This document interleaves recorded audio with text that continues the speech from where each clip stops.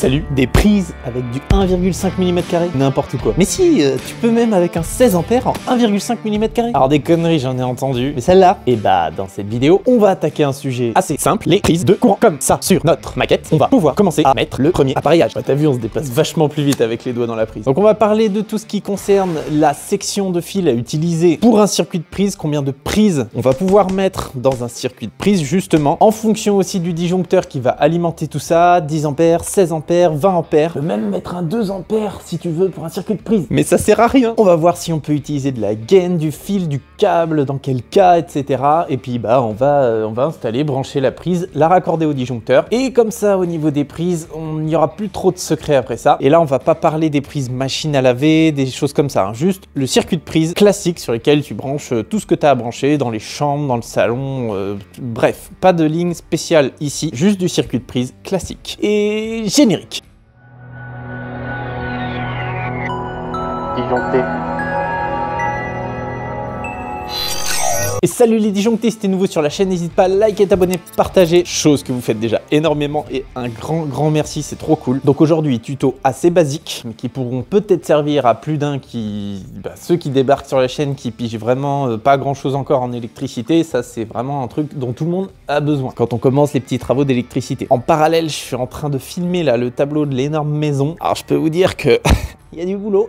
J'ai déjà au moins deux heures de vidéo dans le téléphone, avant montage, quoi que ce soit, et je suis qu'à la moitié du boulot et encore. Donc euh, je sais pas si je le ferai en plusieurs parties ou si on se tente une super vidéo super longue, du genre la version longue du Seigneur des Wagos. Mais ça, on verra en fonction de l'énergie que ça va me prendre au niveau du montage aussi. Mais vous inquiétez pas, ça arrive. Je vous mettrai quelques extraits du tri des câbles sur cette vidéo. Allez, pour commencer, donc là, on va faire des prises à hauteur. Ce sera plus simple sur la maquette pour filmer, etc. Vous pouvez mettre des prises un peu partout où vous voulez. Au niveau de la dimension minimale d'une prise, pour vous dire, je ne m'en souviens même pas. Je crois que c'est jusqu'à 5 cm du sol. Vous pouvez pas aller plus bas que 5, mais je m'en souviens pas simplement parce que c'est con d'aller mettre une prise à 5 cm du sol. Après, perso, un consuel vous embêtera rarement pour des hauteurs d'appareillage. C'est moi, perso, jamais vu. Vous voyez, par exemple, un interrupteur, normalement, ne doit pas être à plus de 130 cm du sol, pour l'exemple. Et moi, ça m'arrive des fois de les mettre plus haut pour certains cas, et on va jamais emmerder là-dessus. Donc, vous voyez, les hauteurs, il n'y a pas besoin de s'inquiéter de trop là-dessus. En moyenne, ce qu'on peut voir dans les maisons, les prises, elles sont à aller 25 du sol, entre, enfin, entre 20 et 30. Après, ça peut être à 40, ça peut être à 15. Ça, c'est. Voilà. Disons que 25, c'est à peu près ce que vous voyez à l'œil tout le temps dans toutes les maisons. 25, 30, enfin 20, 30. 20, 30, c'est vraiment la moyenne des hauteurs pour les prises au sol. Moi, ici, j'ai tracé un trait là à 120 pour euh, tout ce qui va débarquer, les inters, les prises, les bidules. Comme ça, on mettra tout à hauteur 120. Habituellement, je fais 110. Là, j'ai choisi 120. Ce sera mieux pour euh, la caméra, pour filmer tout ça. Tout simplement. Pour les hauteurs, c'est vu. Ensuite, les alimentations. Donc, quel fil on va utiliser? Donc là, moi, je vais avoir un câble R2V en 3G 2.5. Donc petit récap rapide pour ceux qui savent pas, il y a des câbles 3 fois, il y a des câbles 3G. Le câble 3 fois, ça veut dire qu'il y a 3 fils dedans. Le câble 3G, ça veut dire également qu'il y a 3 fils, mais G, ça veut dire que dans les 3 fils, il y a une terre. C'est 3G, ça veut dire 3 fils dont une terre. Donc la plupart du temps euh, dans le commerce, vous trouverez plus facilement du 3G que du 3 fois. Petit aparté. G, c'est ground. ground in English, qui veut dire la terre. Et donc là, comme je disais, on est en 2,5 mm. On peut, un circuit de prise, le câbler en 1,5 mm si on souhaite. 1,5 mm, on va être sur une protection en 10 ampères ou en 16 ampères. Oui, 16 ampères, on peut sur du 1,5 mm pour des prises. Et à ce moment-là, on va devoir limiter le nombre de prises du circuit. Donc en gros, un circuit, un disjoncteur pour alimenter un ensemble de prises. Et là, va falloir se limiter à 8. 16 ampères, 1,5 mm, 8 prises. Bon ça, ça fait 5, mais t'as compris, 8 prises. Oui, je sais, cette info, euh, j'ai longtemps cru que c'était pas possible. Moi, j'ai longtemps cru qu'on pouvait faire 8 prises, mais sur du 10 ampères. Mais on peut réellement faire du 16 ampères, 1,5 mm. Perso, je le fais pas. Je préfère mettre du 10 ampères quand c'est comme ça. Quand euh, parfois on a un circuit de prise pour X raison en 1,5 mm. Euh, moi, je préfère mettre un 10 ampères dessus. Après, euh, voilà, si vous avez que 10 mètres de, de 1,5 mm, le 16 ampères, il va pas vous faire trop de mal. Mais si ça fait tout le tour de la maison, qui est à 40 mètres de, de 1,5 mm, qui a la prise du bout, vous branchez un Karcher à 2000 watts, que vous faire tourner pendant des heures, ah, ça va chauffer un peu plus. euh, mais bon, si c'est dans les normes, c'est qu'il y a des tronches de bac plus 10 qui ont calculé quand même l'échauffement. Donc normalement, vous êtes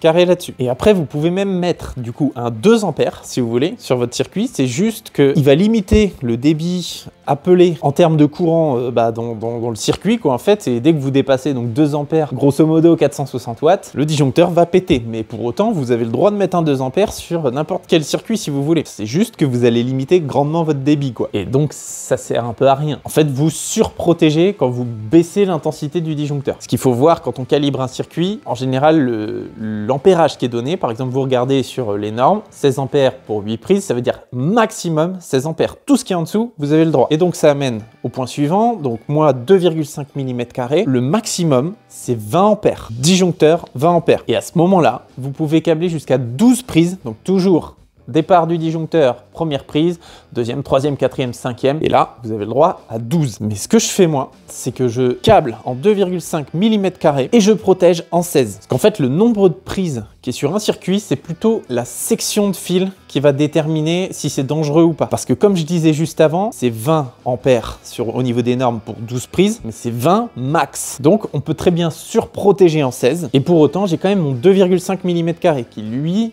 sert au nombre de prises qui va être derrière. Parce qu'en fait, la logique, c'est que vous câblez en 2.5, si c'est en 16 et qu'un jour vous remontez en 20, il faut que la section, la taille des fils, supporte l'ensemble des électrons qui va passer dans, bah, dans le diamètre du fil pour éviter que ça chauffe. Donc je pourrais même mettre 12 prises sur 2 ampères. Et encore une fois, ça sert à rien. Et pourquoi 16 ampères? Parce que bah, les prises sont fabriquées pour supporter 16 ampères sur la durée. Donc euh, si vous Trouvez un appareil qui consomme 20 ampères sur votre circuit, que vous branchez dans une prise qui a tendance plutôt à supporter un passage de courant de 16 ampères, pendant trop longtemps, elle risque de fondre. Du type certaines bagnoles électriques, euh, quand vous branchez dans des prises classiques, ou voilà, euh, je reprends l'exemple du Karcher, parce que le Karcher, souvent des appareils qui sont utilisés un peu en bout de ligne, euh, au bout de la maison, sur une prise extérieure, qui consomment pas mal, que vous utilisez pendant 2-3 heures. Donc voilà. Après, en gros, le 20 ampères, faut l'utiliser pour optimiser le circuit, si vous voulez, ça vous permet d'avoir 4600 watts sur l'ensemble des prises. Et pour autant dans chaque prise vous allez brancher peut-être un appareil qui consomme 5 ampères, un autre qui consomme 3 et ainsi de suite. Et en fait c'est la somme de tout ça qui, qui, va se retrouver dans le disjoncteur. Rares sont les appareils qui dépassent 16 ampères sur une seule prise. Mais ça peut arriver. Et 16 ampères c'est quand même 3700 watts sur votre circuit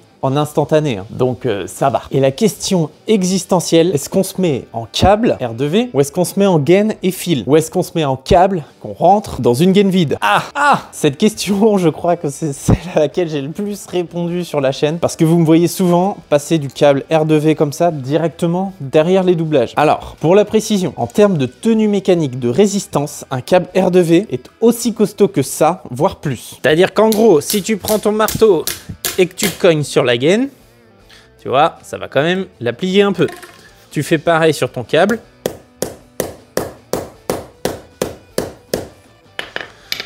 Tu vois, ça va le plier un peu, mais presque moins. Pourtant, je pense que j'ai tapé un peu plus fort sur le câble. Donc tu vois, à ce niveau-là, pas de souci. Certains vont me dire, ouais, mais s'il y a une vis qui vient dans ton câble, s'il y a une vis qui vient dans ta gaine, c'est la même merde. Hein. Perso, c'est même pire parce que tu peux rien repasser non plus dedans, donc euh, c'est pareil. C'est même tarif si tu prends une vis dans ton câble ou dans ta gaine. Ta gaine va être un peu plus grosse, donc ça va pousser un peu plus peut-être tes fils derrière le doublage, mais de, 1 cm, 1 cm et demi, quoi, pas plus. Donc au niveau des vis, rien à voir non plus. En fait, le câble, vous pouvez le passer sans gaine dès lors que vous êtes dans ce qu'on appelle un vide de construction. En gros, c'est vraiment euh, un vide de construction, euh, c'est notre maquette, quoi. C'est-à-dire du placo, des rails, et puis bah, un vide vide de construction derrière. Tout ce qui est doublage, alors que ce soit doublage placo, briques, faux plafond, même si vous avez de la laine de verre, il n'y a pas de souci, à la condition que vous puissiez remplacer les câbles si besoin. C'est-à-dire que nous, on va faire un trou ici dans le placo qui va aller dans le tableau. Donc je peux très bien raccrocher un câble dessus, aiguiller, même s'il y avait de la laine derrière, ça glisse, il n'y a pas de problème. Et ça, sur un mur droit comme ça, je suis capable de le faire sur 15-20 mètres. Il n'y a aucun souci si vous êtes à deux, un qui pousse, un qui tire, ça se passe très bien. En gros, c'est vraiment la condition. Donc tous les repiquages de prise, tous les repiquages de spots qui vont de l'un à l'autre, câble, vous faites pas chier quoi. Enfin, si vous voulez mettre de la gaine, mettez de la gaine. C'est juste que la gaine, ça coûte de plus en plus cher, surtout depuis euh, le gel hydroalcoolique et tout ce que vous voyez quoi. Et parce qu'apparemment on n'a pas trop le droit de dire le mot euh, sur YouTube. Mais voilà. Par contre, dès lors que vous êtes en extérieur, il vous faudra gainer votre câble. Quand vous rebouchez une saignée dans du béton, des trucs comme ça, gainez le câble aussi, parce que bah pris dans le béton, vous pourrez jamais le repasser, jamais de la vie. Et euh, bah voilà, dès lors que vous passez 30-40 mètres, bah vous passez en gaine et en fil pour essayer de repasser dedans si besoin. Perso, c'est un tableau qui est là ta maison, euh, t'as as 10 virages pour arriver à la prise, c'est à l'autre bout, va falloir passer une gaine de 50 hein, pour espérer retirer des prises, hein, parce qu'une gaine de 16, une gaine de 20, même 25, euh, quand euh, toutes les cloisons sont montées, que t'es passé au-dessus des cadres de porte pour distribuer ta prise qui est en bas de la chambre à l'autre bout, euh, par expérience, bon courage. Donc voilà, parce que j'en ai déjà discuté avec des plombiers, des trucs. Eux, c'est pareil, hein, ils doivent pouvoir repasser les tuyaux dans la maison, mais encore une fois, quand ta nourrice elle est à l'autre bout, c'est compliqué. Mais voilà, si tu vraiment tu veux tout anticiper, bah, plus t'es loin de ton tableau, plus faut que tu passes vraiment de la grosse gaine. Et après, de toute façon, quand tu rentres dans tes cloisons et que tu fais les virages pour aller bah, à droite, à gauche, que le plaquiste il te passe ça ou ça l'arrange, etc., euh, ton câble, ou ta gaine hein, avec les fils, bah, pour repasser le jour où il y a un problème, bah là c'est euh, au petit bonheur la chance en fonction des cas, etc. Mais voilà, vous savez tout sur est-ce qu'on peut passer le câble direct derrière les doublages, euh, qu'est-ce qu'il faut le gainer, tatati tatata. Bon, on le fait notre trou. Diamètre de percement pour les prises, donc ça je pense que c'est pas vraiment une surprise. 68 mm, 67 ça marche aussi. Maintenant c'est plutôt des cycloches à 68 pour les pots. euh, tous, tous les 5 ans ils rajoutent 1 mm, avant c'était 65, enfin ils sont passés après à 67. Non allez, dans 20 ans je prends le pari, on sera à 71. donc allez là je mesure même pas, je le mets à côté du tableau, euh, je sais pas combien. De toute façon sur cette plaque là ce sera des trucs fixes, hein, donc les prises il y en aura toujours besoin. Même me mettre un petit peu plus à gauche. Et après sur la plaque suivante là on fera vraiment des trucs, des inters, des choses qui pourront se renouveler peut-être. Enfin ça, impro.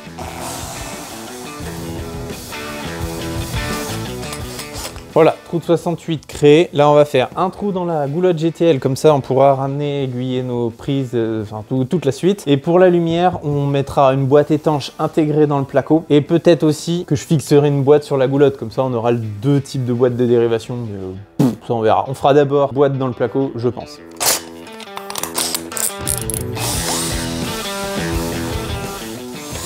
Bon là vous allez deviner que ça va pas être très dur à aiguiller d'un trou à l'autre.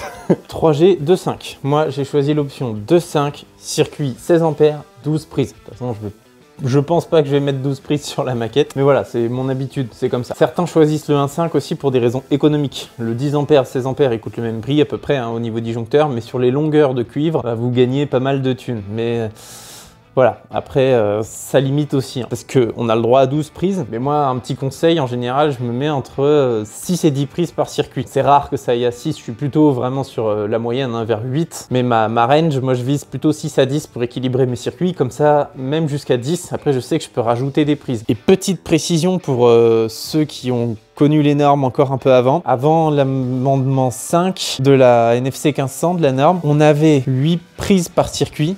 C'était 8 prises par circuit de 5. Mais, alors c'est là où je sais pas à quoi ils ont pensé dans les bureaux. Quand tu avais une prise double, jumelée, hein, c'est-à-dire euh, vraiment avec une seule plaque de finition, ça comptait pour 1. Et quand tu avais une prise triple, donc euh, pareil, hein, euh, ju- jumelé, triplé quoi, ça comptait pour 2. Par contre, si tu avais deux prises à 10 cm d'écart mais qu'elles n'étaient pas jumelées, elles comptaient pour 2. Et tro- trois prises à chaque fois avec 10 cm d'écart, toujours pas triplé, ça comptait pour 3. C'était bizarre. Donc euh, pour calculer le nombre de prises, voilà, si tu avais 4 prises triples, au final c'est comme si tu avais 8 prises sur ton circuit. Pourtant physiquement tu en avais 12. Euh, donc ça c'est un peu bizarre. Mais ça ils ont viré, ils ont dit allez hop, 12 prises, une prise égale une prise. Donc comme ça c'est beaucoup plus simple pour s'y retrouver. Parce que ça c'était vraiment un truc euh, chelou quoi.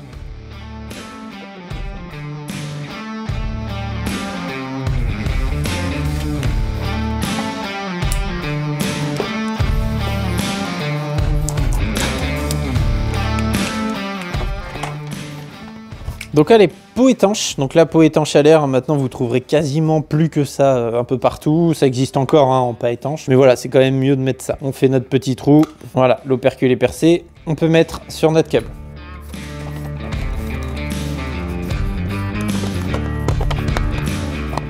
Ce pot, c'est la marque Trade Force, c'est la marque spécifique à Sonépar. Ils ont tous euh, Rexel, Sonépar, leur petite marque, euh, voilà, pour éviter un intermédiaire de plus, c'est moins cher. Ça tient bien, donc ça sur le net, je suis pas sûr que vous les trouverez. Sinon, je vous mettrai deux trois liens pour euh, bah, la prise que je vais utiliser en Schneider et le, pots de marques connues qui sont bien que je trouverai.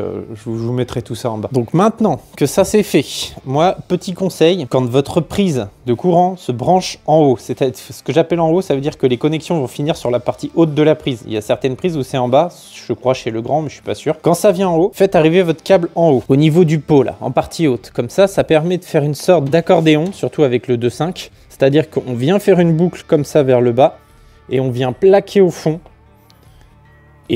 Hop, voyez, comme ça j'ai beaucoup de rab. Ça c'est complètement plaqué au fond là, ma boucle. J'ai beaucoup de rab, et ça, ça va venir pile poil à cet endroit-là, dans la prise. Regardez, si je coupe là, là je sais que j'ai ma bonne dimension pour pas que ça m'embête. Et pour autant, le jour où j'ai besoin de redémonter la prise, bon là le câble il vient, mais admettons qu'il vienne pas, voilà, j'ai quand même pas mal de fils. Vous voyez, à dépasser du pot, c'est pas dégueu quoi. Et là, quand vous avez qu'une seule arrivée avec trois fils, ça va, c'est facile. Mais quand vous en avez 6 en 2.5, bah, c'est hyper important de faire arriver les deux câbles au moins au même endroit. Vous pouvez faire arriver d'en bas, mais faut, si vous avez un qui arrive en bas, un qui arrive en haut, ça va commencer à être galère quand vous avez 6 2.5 à, à plier derrière. Donc là, on dénude. Une fois que c'est dénudé, c'est parti. Donc prise audace, euh, affleurante. Maintenant je mets de la fleurante. Avant je mettais euh, de la prise à puits classique, hein, euh, prise euh, qui est comme ça. Maintenant je mets ça parce que c'est pareil, on les trouve de plus en plus partout au même prix. Donc voilà. Donc vous voyez, le bleu, en plus là, sont indiquées clairement, hein, mais toujours le neutre à gauche quand on regarde la prise en face de soi. Ensuite, c'est donc les bornes à clips, hein, rien de très compliqué, il faut juste dénuder la bonne taille, qui en moyenne c'est 11-12 mm. Alors quand vous avez des pinces automatiques réglables, euh, voilà, faut régler sur la bonne taille euh, pour avoir le bon, la bonne taille de cuivre qui dépasse. Mais euh, moi, c'est par habitude et par expérience. Voilà, l'important, c'est qu'il n'y ait pas de cuivre qui dépasse ici et que vous ayez une bonne tenue. hein. Vous pouvez des fois checker les connexions quand vous n'êtes pas sûr, surtout au début quand c'est vos premiers appareillages que vous branchez. Tirez bien dessus. Souvent la terre a tendance à moins bien s'enfoncer. On sent que ça s'enfonce moins bien, mais je pense que c'est juste peut-être la borne est un peu moins forte. Je sais pas. J'ai toujours remarqué ça sur les prises audace en tout cas, que la borne de terre est un peu moins costaud en fait. Et là, donc, j'avais vu juste avant de couper que j'avais ce qu'il fallait pour bien plier. Donc, vous voyez, là, j'ai déjà ma forme d'accordéon qui est prête, quoi, en fait, qui, va se replier. Une fois que ça s'est fait, là, je sais que je peux pousser et ça va se, plier dans, dans le bon sens. Voilà, la prise est mise. On n'oublie pas de la mettre de niveau. Donc moi, ce que je fais, c'est que je la mets de niveau à l'œil à peu près, dans un premier temps, en serrant qu'un seul côté. Et ensuite, mon côté gauche, peux encore le bouger un petit peu. Là, c'est très subtil, je, peux, je le bouge pas beaucoup, mais ça, va me servir à faire mon réglage. Là, je pose mon niveau dessus. Et le fait d'avoir serré à fond celle-là, en fait, ça évite que, au moment où je pose mon niveau, ça bouge de trop, en fait. Et voilà. Maintenant, au niveau du tableau, donc ça peut être pareil, hein, si vous avez déjà une arrivée dans une boîte d'alimentation, euh, boîte de dérivation, vous pouvez vous connecter dedans, phase sur phase, neutre sur neutre, terre sur terre. Pareil, quand vous repartez directement d'une prise, hein, donc là, vu qu'on a que trois fils, mais on a six bornes en tout, on pourrait repartir de cette prise pour alimenter d'autres. Mais là, c'est la toute première du circuit, donc on va aller se brancher sur le disjoncteur. Donc la terre, bah pas de, pas de mystère, hein, c'est très facile. On vient se raccorder dans le bornier à clipser.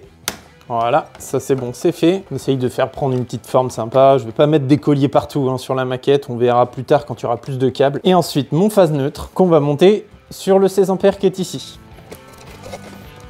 Donc là, je suis complètement hors tension dans ce tableau. La seule alimentation, c'est sur l'amont de mon sectionneur. Ça, c'est ma coupure générale pour mon tableau. Donc il n'y a que ces deux bornes qui sont alimentées. Et en dessous, c'est le départ pour tout le reste. Donc là, tout est baissé. Il n'y a pas de souci, je fais pas de VAT. Pour les disjoncteurs, donc clipsables, c'est hyper facile. Donc ils sont déjà alimentés en amont. Ça, j'en ai parlé dans les vidéos euh, précédentes sur euh, cette maquette. Et par en dessous, bah, vous voyez, hein, il y a deux bornes pour le neutre, deux bornes pour la phase. Donc là, simplement, moi, pour faire une belle boucle, entre guillemets, euh, je fais juste avec mon doigt. hein, mais ça, c'est vraiment clairement de l'habitude à force à force. Donc vous voyez, mon fil, il ressemble à ça. Il ressemble à une sorte de U. Et voilà. Et après, une fois qu'il est comme ça, j'ai juste à pousser derrière et à pousser sur ma boucle. Et après, je viens carrément avec mon doigt derrière, appuyer et plaquer le reste pour remonter ce qui descend au niveau du fil bleu. Vous voyez, quand j'appuie là, ça vient tendre un peu le fil bleu, ça vient le remonter et tout le rab se retrouve derrière mon disjoncteur, bien plaqué contre. On fait pareil pour la phase. C'est alimenté, il n'y a pas de souci. Donc vous voyez, euh, bah après, je vous dis, je vais pas mettre des colliers Colson à chaque fois que je vais rajouter un truc pour faire un truc propre. J'en ai déjà parlé en plus dans pas mal de vidéos. euh, mettre trop de colliers pour faire un truc trop beau dans un tableau, ça peut parfois vous porter préjudice parce que simplement le jour où il y a besoin de suivre un fil, un truc, les colliers vont, vous empêcher de suivre ça et du coup ça va vous faire galérer pour retrouver le fil que vous cherchez. Il va falloir couper les colliers, remettre des colliers, etc. En fait, le mieux c'est quand on a beaucoup de fils, de, vraiment de les, serrer à la main. Enfin, ça, chacun fait comme il veut. Mais moi perso, par expérience, on perd beaucoup de temps à essayer de faire des petites maniaqueries euh, dans son tableau. Ça a un côté très satisfaisant. Par contre, hein, c'est très beau, ça c'est top, ça là-dessus, il euh, n'y a rien à dire. Mais pour un pro, euh, voilà, le tout c'est que ça soit quand même pas moche, ça c'est important aussi, mais euh, ça sert à rien d'y passer des heures à essayer d'aligner chaque terre avec chaque terre, chaque machin, c'est là, c'est vous perdrez du temps euh, à coup sûr, tout le temps quand vous êtes un pro. Si c'est votre tableau, pour vous en tant que particulier, que vous voulez vraiment faire un kiff, faites-le. À la limite, ce sera cool, ce, sera super beau et tout, ça y est, vraiment pas de souci. Mais en termes de, de pro, foutre des petits colliers partout, on s'en fout. Ou à la limite, moi ce que je fais, vous, verrez justement dans l'épisode où je câble l'énorme tableau, moi souvent je mets des Colson mais que je sers pas, en fait, juste pour euh, maintenir, euh, voilà, si, dans, ce, diamètre-là, il y a 40 euh, fils qui passent, juste qu'il y de, l'espace dans le collier en fait. Si vous serrez tout, ce sera plus beau, mais ce sera plus chiant. Donc là voilà, mon diff, donc 63. Ici on a donc mon 16 ampères. Hein, donc voilà, hein, comme je disais au début, circuit 16 ampères pourrais mettre jusqu'à 12 prises parce que j'ai du 2.5. Maintenant, il faut aussi que je monte mon sectionneur pour que tout soit alimenté. Donc là, c'est bon, tout arrive à la prise. Et donc, l'important maintenant, c'est quand même de tester la prise. Mais j'ai pas mon petit testeur de prise avec moi, il est dans le camion, je vais pas ouvrir, mais je vais vous montrer une technique quand vous n'avez pas d'appareil spécifique pour tester la terre, les prises, les machins, juste avec un petit multimètre. Là, vous prenez votre multimètre, vous venez vous mettre dans la prise. Alors, dans les prises... Euh, à affleurement, c'est toujours un peu plus galère, donc on a bien 230, 240 euh, volts, quoi, en gros. Donc là, niveau fonctionnement, on est bon, mais est-ce qu'on a la terre À ce moment-là, quand vous êtes rentré, vous enlevez la broche du neutre.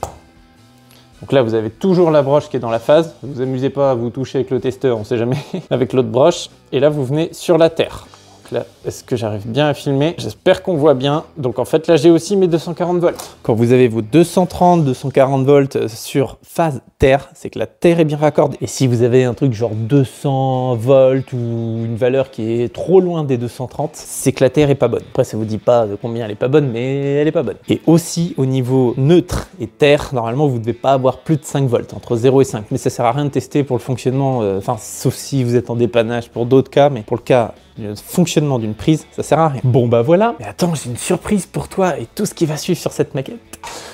C'est l'heure du schéma. Ah c'est beau ça. voilà, dernière acquisition. Donc là, quand on aura des schémas à faire, bah voilà, un énorme tableau Velleda qu'en plus on va pouvoir retourner, enfin pour faire plein de trucs. Et ça, ça va être trop bien. Bon, la brosse, elle se casse la gueule. Donc ça, c'est vraiment génial. Comme ça, je vais pouvoir vous faire mes schémas à ma façon, de, sorte plus simplifiée que ce qu'on voit. Bon là, c'est pas très compliqué hein, au niveau de la prise, mais on va inaugurer ça quand même vite fait. On va faire en schéma unifilaire. 63A, sectionneur. On arrive du disjoncteur abonné au-dessus. On passe sur le différentiel. Diff 63 ampères. On va alimenter le disjoncteur, le C16, et du C16 on part à notre prise. Et en gros, euh, au-dessus, c'est EDF. Voilà, EDF sectionneur, ça descend au diff, du diff ça va au 16 ampères, du 16 ampères à la prise. Voilà, je suis content. J'avais envie d'écrire sur ce tableau, j'ai attendu de faire la vidéo pour écrire dessus. Trop d'émotion. En plus, j'ai même des couleurs pour faire les navettes et les trucs. Il en faut peu. Et comme ça, on peut faire un petit récap aussi à la fin.